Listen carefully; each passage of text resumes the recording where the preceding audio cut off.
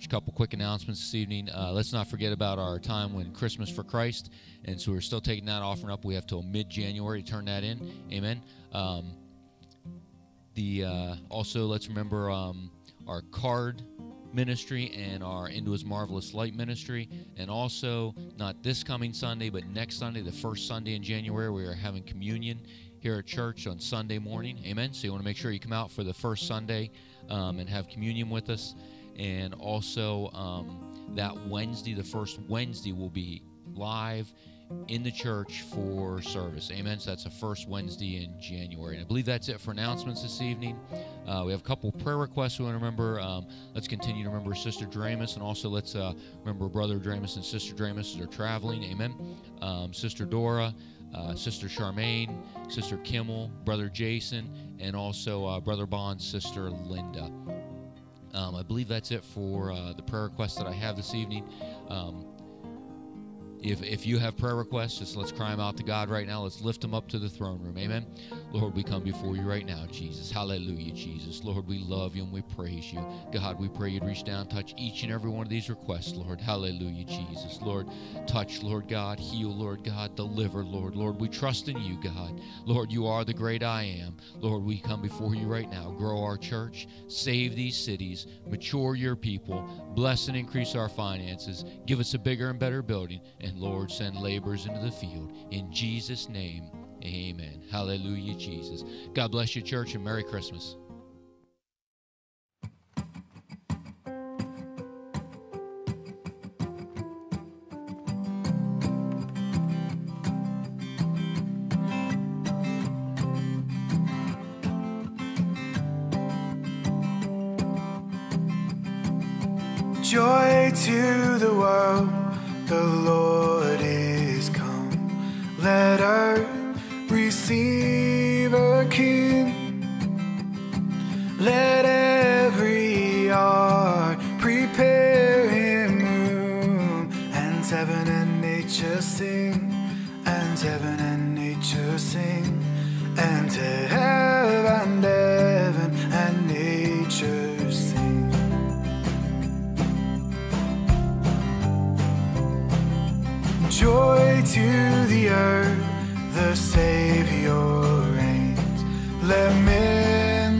Songs employ, while fields and floods, rocks, hills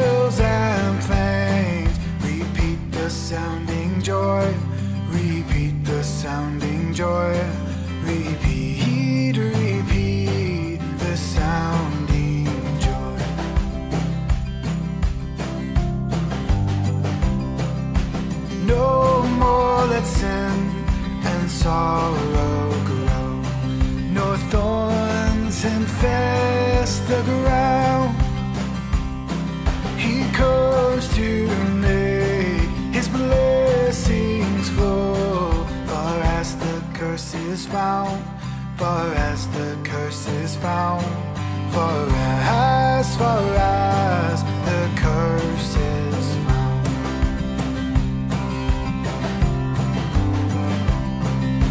He rules the world with truth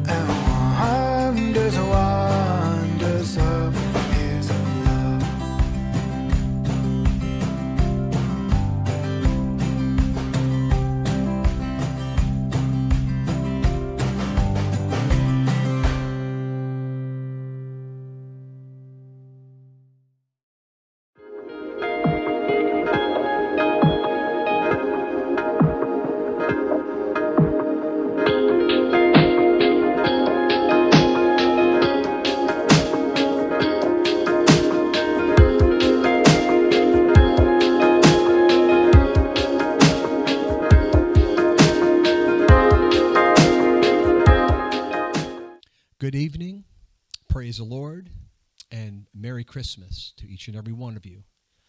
Um, I want to thank each and every one of you for taking the time on this Wednesday night.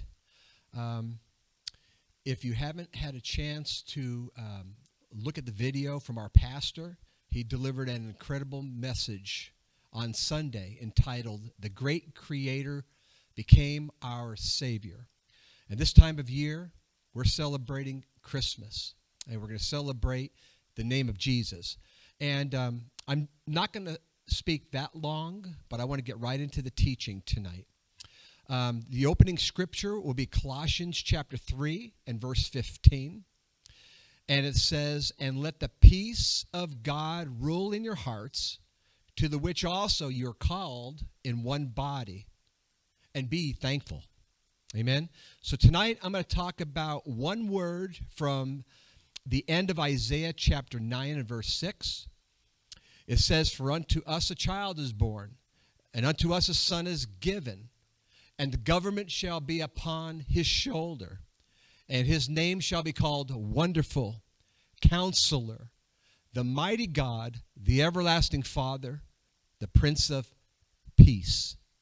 And I, I, I, I'm going to get right into the lesson for tonight about peace. I would like to read a very familiar scripture from Luke chapter 2 and verse 14. It says, Glory to God in the highest, and on earth peace, goodwill toward men. So, what, what is peace? Now, if you look up this word in the dictionary, it would have various meanings, like a state or period in which there is no war. It also means freedom from disturbance or tranquility. Now, peace is a stress free state of security and calmness. Everything is in perfect harmony. What brings true peace in our lives? Some would say that I just go to my massage therapist and I get a Swedish massage, and that brings peace. It may be relaxing, but that's not peace. You may say, I, I, just get a nice hot cup of tea and read a book by the comfort of my fireplace. Now, that sounds cozy and relaxing, but that's not peace. Snow is coming down. The children are all asleep. Christmas is almost upon us. It makes me want to sing Silent Night, Holy Night. All is calm, all is bright. I love this Christmas carol amongst others, like O come, all ye faithful, hark the herald angels sing, joy to the world, the Lord is come. Now, there's a whole bunch of other ones, and the reason I like these carols, it's because of the true meaning of what this season is all about, and that is the birth of our Savior, Jesus Christ, our only hope. Amen.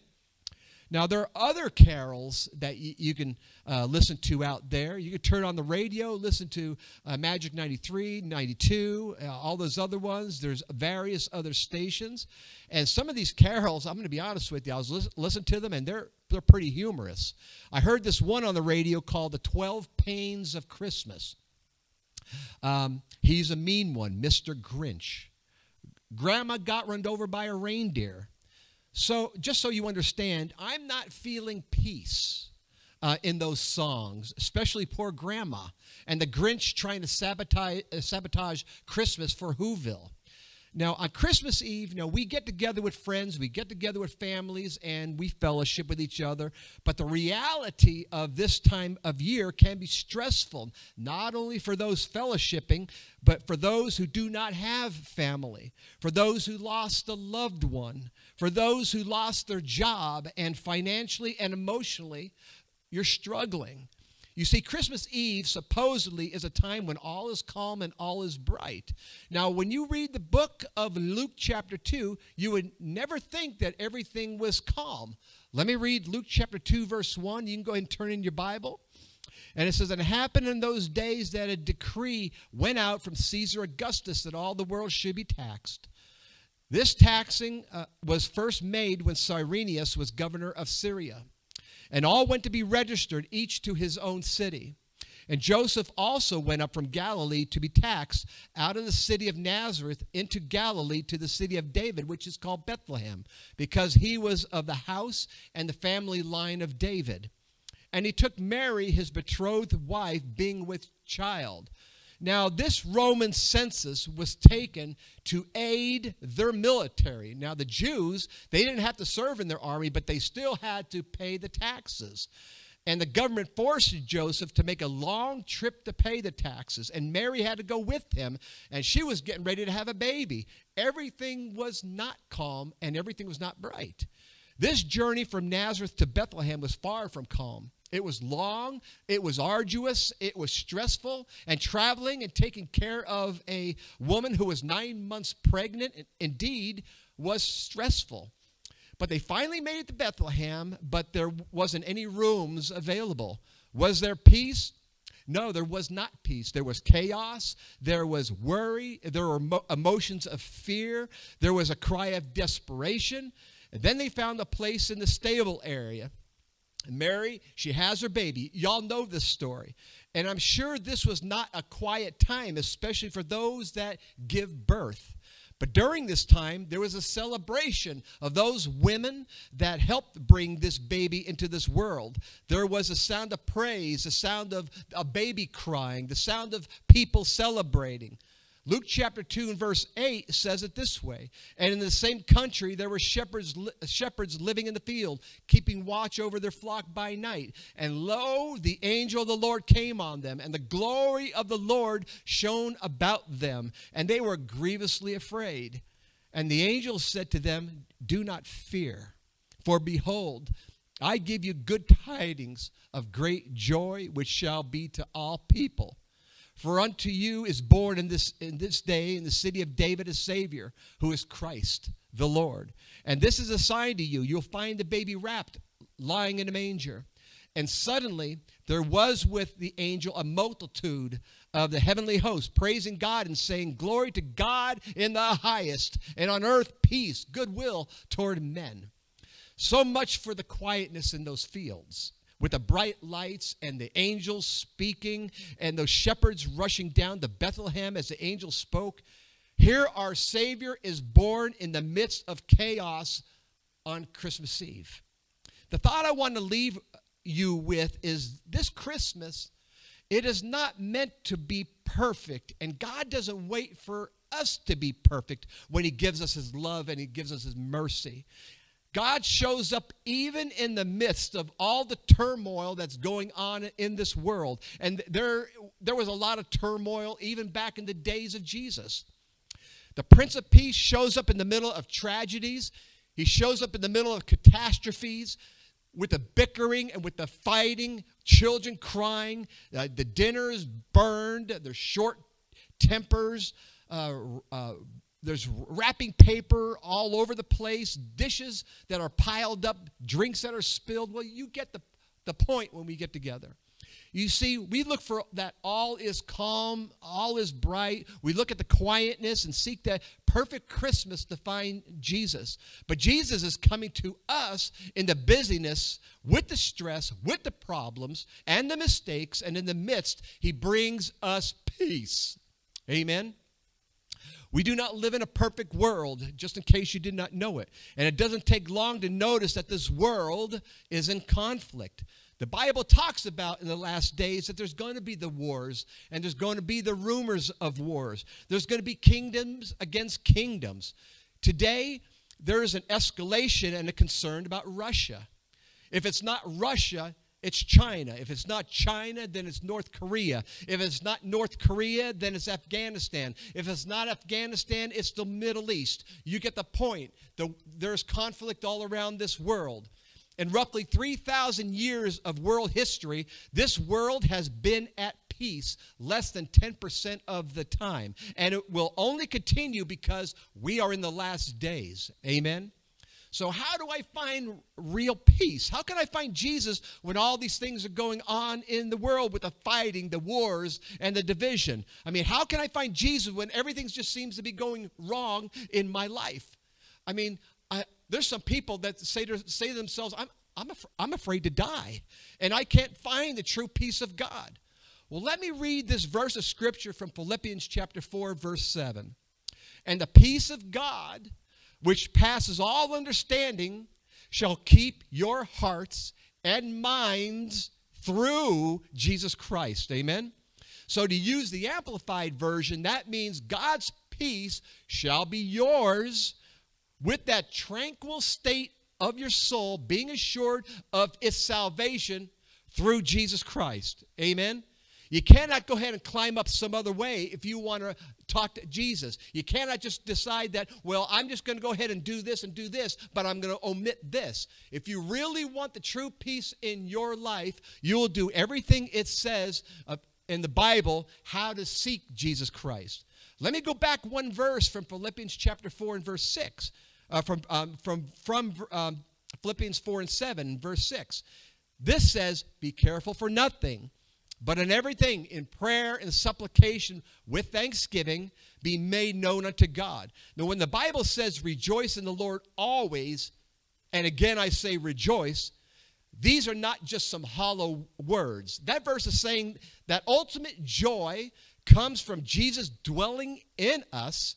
And when we experience that second coming of Jesus Christ, we're going to realize that ultimate joy. Listen, this world is not my home. We're just passing through. We're getting ready to go in the rapture. We're getting ready to leave this earth. Amen? Remember, he who dwells in you, meaning that Holy Ghost, will fulfill his final purpose for us.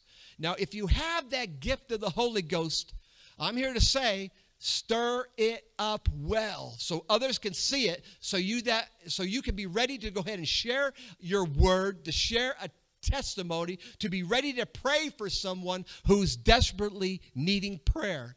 Amen. There's a lot of hurting people out there. And if you just allow that Holy Ghost to move in you, that Holy Ghost will speak to you. And I do believe the, the words that our pastor says that God's going to put someone in your path that you can be anointed with. Amen.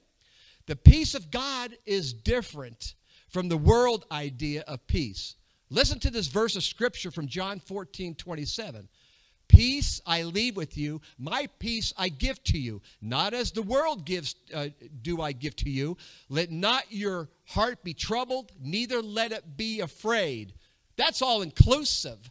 When you start seeing all these things going on in the world that are negative and it starts to put something in your mind of fear, you can go ahead. It says right here, don't be troubled. Don't let it be afraid. I am right here to be with you the, your whole step of the journey. Now, I understand that, um, all of these things that are going on in the world, and you understand what's going on in the world, but rejoice. And again, I say rejoice and be careful for nothing. Don't worry about anything. And that means don't worry about everything that's going on in this world. So, how can you say don't worry when the doctor says that you have cancer or you have a heart condition? And on top of that, the news says that, hey, we're on the brink of a major war. I'm not saying that's going on, I'm just, I, am just making a point. You may heard of some people say, hey, the stock market is, may, may collapse. Whether these things come to pass or not, I have a confidence that God will see me through right until the very end. Amen? We all go through some worries, whether it's in your home, whether it's with your children, whether it's on your job, whether it's with your finances. But when it looks like an impossibility, Paul's advice is to turn your worries into prayer. Amen. And the more you pray, the closer the relationship you're going to have with God. And the closer relationship you have with God, the more confidence and holy boldness you're going to have in this world. And the closer you get to God, the less likely you're going to be prone to giving into those temptations to sin. So, what sin can you be doing? Well, you can go ahead and just fill in the blank. Amen. I don't need to go ahead and say anything. When you start saying temptation and when you start saying sin, usually all the time something usually comes forefront because the enemy wants you. He tempts everybody with something. Uh, so if a certain temptation or sin comes to your mind, then that is the beginning of restoration and revival in you because you now recognize what's wrong and you are giving it to the one that can make you right who will forgive you and will give you that true peace in your soul. The name of Jesus, I'll tell you what, he's an answer to everything that's going on in this world and everything that's going on in your life. And he's concerned about everything that's going on in, in your life. Amen? The, this peace It's not found at the spa. It's not found with hypnosis. It's not found with a sedative or chanting some mantra or reading some self help book. Real peace from, uh, comes from knowing that God is in control. Our place in God's kingdom is certain. Our destiny is set, and our victory over sin is certain. Look at, listen, I'm going to go to heaven and I can't wait to get there. But until I get there, I'm going to do all the work I can for the kingdom. Amen. And I'm going to allow the power of the Holy Ghost to lead me in everything that I'm going through. I'm not going to get my mind on this silly thing. I'm not going to be fearful about this. I'm going to, my confidence is in a prayer answering, miracle working God in the name of Jesus. What we put into our minds determine what comes out in our words and our action. And the Apostle Paul tells us to program our minds with thoughts that are true, that are honest, that are just, that are pure, that are lovely, of good report, and praiseworthy. Do you think upon things, do you think upon things that are impure? Do you daydream upon things that are not right? Will your thinking and action make Jesus happy? Now, if you really want that peace of God, then you're going to have to be willing to change some habits, like what you're watching on TV, the books you read, the movies and the videos that you watch. And some of those things that you, you may just have to flat out just replace, like turning off the TV, like putting your cell phone down and putting it on silent. Get down with a good old fashioned prayer meeting. Well, what am I saying? It should not, it's not a good old fashioned prayer meeting. Shut out all distractions, everything on hold, and find a quiet place to pray, a place to vent, a place to detox, but give it all to God. Amen. Just go ahead and just pour your heart out to God. Amen. And that means you give God the good, you give God the bad. He's not only the Almighty God, but He is your counselor. Amen. Get into the Word, get into the Bible, focus your mind on the things of God. Unfortunately, we're going to have the wars, but you can still have true peace. Politically, there's going to be division, but you can still have peace. You may have lost something and you may be having hard times, but hold on just a little bit longer. We're going to meet Jesus in the air, and some may be meeting Jesus sooner than that. But the true joy and peace of Jesus Christ should not only be shining at this Christmas season, but every day of our lives. Amen. When you gaze at all those lights on the houses, and if you go up my, my street where I live, I counted roughly 30 houses on a very small street that have their lights on. I'll tell you what, I, lo- I love looking at Christmas lights. Amen? And I, I think some of you do too. But what do you, but if you ever pass by a nativity, just look at that baby that was born and remember that that same Jesus that was born is the same Jesus that will rapture us out of this world that seems to be out of control. The Prince of Peace will be there even when everything else seems to be going out of control. Now, as I conclude this short lesson of peace, I came across a story about Silent Night that is different and unexpected. This is very familiar. As a matter of fact, I remember reading this same story. I think it's 15 years ago. And some of you, I'm not sure who the author is, but let me read this to you. This is uh, different, it's unexpected, and the Silent Night is found on a battlefield in World War I. I heard the story many years ago, and many of you probably heard it. It's said that during World War I, on a battlefield somewhere in Europe, on Christmas Eve during a quiet time in the battle, someone in the trenches begins to sing Silent Night. Y'all know the words Silent Night, Holy Night. The soldiers on the English side, they just stopped to breathe and to listen to this hymn. How far from a perfect world they were that night. How far from a joy filled and perfect Christmas they were in those trenches. They were cold, they were just living on the ground. They were fighting for their lives. And quietly in this no man's land with its barbed wire fences and the cold winter ground came a distant voice um, echoing back to him. Only this time the words that were sung back were Stille Nacht.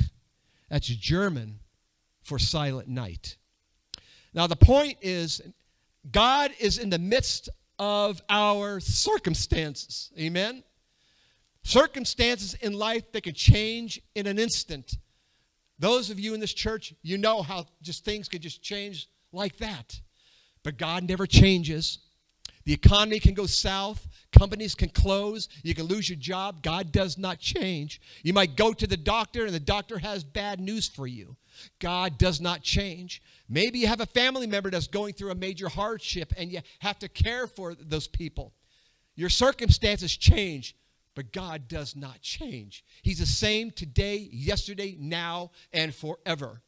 Even with the story of Mary and Joseph, Mary was with child, and by law, she should have been stoned to death. But Joseph trusted God, and I'm sure he had a million questions, you know, why this, why this happened, like us. Christmas is supposed to be a time of peace, but there's conflict. There's supposed to be happiness and joy, but there's much sadness. It's supposed to be about love, but there's so much hatred. God's ways are not um, our ways, and His ways are much, much higher than ours. And there's going to be things that we don't understand while we are living here on planet Earth. But God is saying, Trust me. I'm going to work everything out perfectly. Amen. You can take that to the bank. Hallelujah. So, to conclude with this thought, the thought is this world is not my home. I'm just passing through. And while I'm passing through, I have a book called, a book of books called the Bible. And in this Bible are all the answers to who I should be, how I should do it, how, how I should live day to day. And it tells me of this plan of salvation. It tells me the most, about the most important gift that you can receive the gift that cannot be bought or sold, but given freely to all those who want it. Amen. Those who never been filled with that precious gift of the Holy Ghost, you come here at Apostolic Faith Church and you can come here and experience the infilling of the Holy Ghost. We will pray with you. If you need to be baptized in the name of Jesus Christ, we will baptize you in the name of Jesus Christ. Amen. You just come here on our Sunday service. Amen. The Jews thought that the Messiah would deliver them from the Romans. They thought he would be some political figure who would crush those coming against them as in the Sunday school lesson downstairs, just this past lesson, to experience that true joy and peace, God knew that they needed to be delivered from the curse of sin. That baby born from Matthew chapter 1 says he was Emmanuel, God with us, and he will bring them joy unspeakable and full of glory. So let's finish with this short life while we have it, and let's take this world and show lost humanity that there is hope. There is a miracle worker. There is a Savior, and this Savior can, can take what is broken and fix no matter how bad it is broken. Amen. Acts chapter 4, verse 12, it says, Neither is there salvation in any other, for there's no other name under heaven given among men whereby we must be saved. And that is in the name of Jesus. Salvation is in the name of Jesus. Baptism is in the name of Jesus. We call upon Jesus for our prayers, we call upon Jesus for our everything. Jesus is our salvation. Jesus is the Almighty God. He is our Prince of Peace.